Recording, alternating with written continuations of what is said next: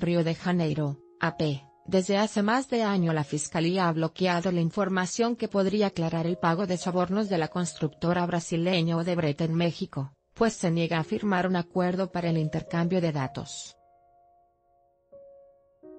El Ministerio Público brasileño explicó en un escrito que rubricar ese documento es obligatorio para que México pueda utilizar la información aportada por ejecutivos de Odebrecht testigos del caso bajo los acuerdos de colaboración suscritos con esa fiscalía.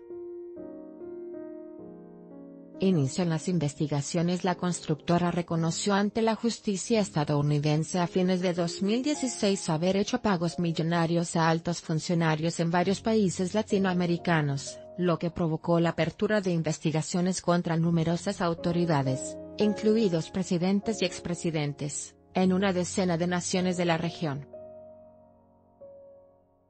Varios países tuvieron que suscribir con Brasil documentos similares al exigido a México y, con esa información como base, consiguieron procesar a muchos de los implicados. Sin embargo, México y Venezuela, no han acusado formalmente a nadie. Los sobornos a Pemex en el caso mexicano Odebrecht confesó el pago de 10.5 millones de dólares en sobornos a funcionarios de petróleos mexicanos, Pemex, en un periodo comprendido entre 2010 y 2014. El escándalo creció con la divulgación de una serie de videos de supuestos testimonios judiciales de ex ejecutivos de la constructora como el exdirector en México Luis de Meneses, que involucraban directamente al exdirector de Pemex, Emilio Lozoya. Lozoya, que en 2012 trabajaba en la campaña electoral del actual presidente Enrique Peña Nieto y del Partido Revolucionario Institucional, PRI, negó siempre haber recibido sobornos pero en las mencionadas grabaciones los ejecutivos de la empresa brasileña explicaban con detalle cómo el mexicano los ayudó a conseguir contratos, y cómo le pagaron por sus gestiones. PGR solo ha tomado declaraciones pese a estas evidencias la Fiscalía Mexicana no ha dado a conocer avance alguno en la investigación a pesar de que la entidad mexicana que vela por el acceso a la información le pidió divulgar los datos disponibles.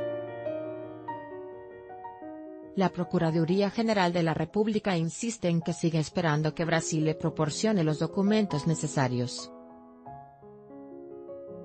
En varios comunicados sobre el tema la Procuraduría solo indicó que ha tomado declaración a 10 funcionarios, y 9 exfuncionarios de Pemex y a más de 3 directivos de la constructora, entre ellos, Marcelo Bayo de Bret. México no acepta las condiciones La Fiscalía brasileña, por su parte, recordó que los países interesados en los datos de este expediente deben respetar reglas como la prohibición de uso de dicha información en contra de los colaboradores. Pero México no ha aceptado esta condición ni ha explicado las razones de su negativa, con lo que Brasil no está en posición de facilitar la información requerida, agregó la respuesta de las autoridades brasileñas. México no cumple con intercambio Brasil también se quejó de que México no ha corregido unos documentos para el intercambio de información que ellos devolvieron en julio porque no cumplían con los parámetros o criterios legales para ser procesados.